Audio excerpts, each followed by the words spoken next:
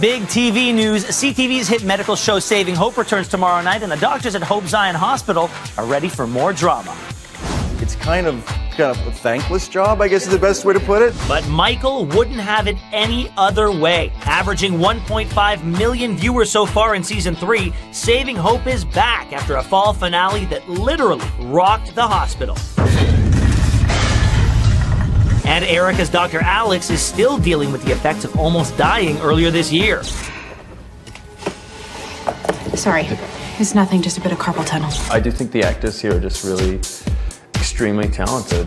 I feel that we're, we're really blessed to have the, the, the cast we do. We sort of, the three of us, this triumvirate blows it every time. But the people we have around us are good enough that they sort To of hold edit us. around We're it, standing on the shoulders of giants. Daniel's just kidding, which seems to happen a lot on set.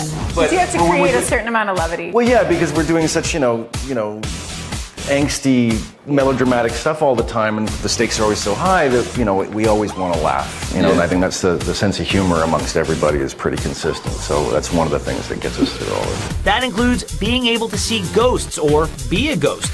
Alex and Charlie have already crossed over, so what about Daniel's Dr. Joel? Everyone's gonna have a turn big on the other side. We're just, we're just talking about that. It'd be great to see Charlie and Joel as the spirit interact.